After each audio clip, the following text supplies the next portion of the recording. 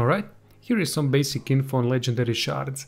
Legendary shards are the main currency in Destiny 2 and they are used to infuse your weapons, they are used for mods, they are used for absolutely everything that is related to exotic and legendary items.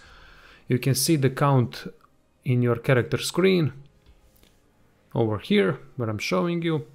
And to get legendary shards you simply need to dismantle purple or yellow items. Purple items will give you 3 legendary shards per dismantle and exotic ones, the yellow ones, will give you 5 legendary shards.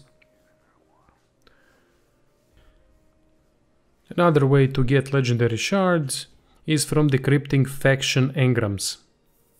These engrams are the ones from Earth Dead Zone, Crucible, which is PvP area, and similar faction engrams.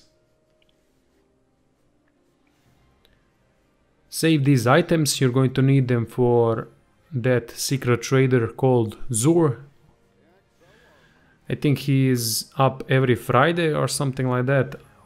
I'm not sure yet, but I will post every location of his and every item in his inventory when he comes live.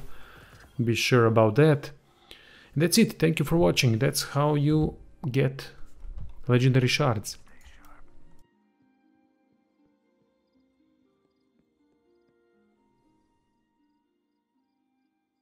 so are among the